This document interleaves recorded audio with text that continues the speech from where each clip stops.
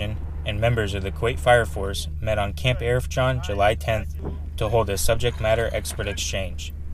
During the exchange, Americans and Kuwaitis learned various tactical combat casualty care techniques that save lives during personnel recovery and maritime search and rescue operations. It's a subject matter expert exchange where uh, the Army on our end is able to present subject matter experts about some knowledgeable field, in this case today, personnel recovery and medical training, with another country who has similar capabilities where we're exchanging best practices to make uh, interoperability possible. One of the key lessons of the exchange included medical treatment upon discovery of injury using the acronym MARCH massive hemorrhaging, airway, respiration, circulation, and hypothermia. Medics from Task Force Spartan played an integral role in the exchange, working with their Kuwaiti partners in a classroom setting, followed by a practical exercise afterwards.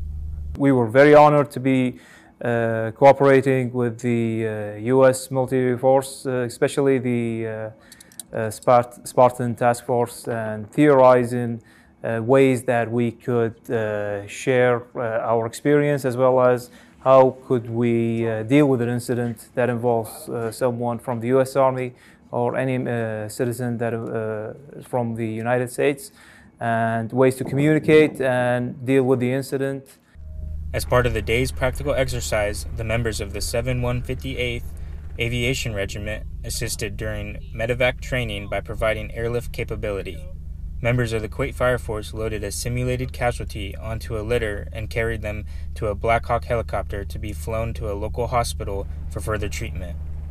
This portion of training simulated real life situations soldiers and first responders could find themselves in while conducting personnel recovery operations. Exercises and exchanges, such as this personnel recovery exercise, strengthens U.S. relationships with its partners by learning together and arms both teams with valuable knowledge and experience to save lives. Reporting from Kuwait, Sergeant Nicholas Ramshaw, Task Force Spartan.